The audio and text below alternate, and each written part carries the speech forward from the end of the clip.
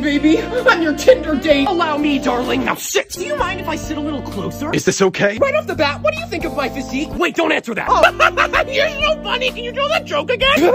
Lady in the trip. come on, come on. Oh, you have such dreamy eyes. You, oh, darling, you still got a little chunk of shrimp scampi stuck to your lip. Let me get that.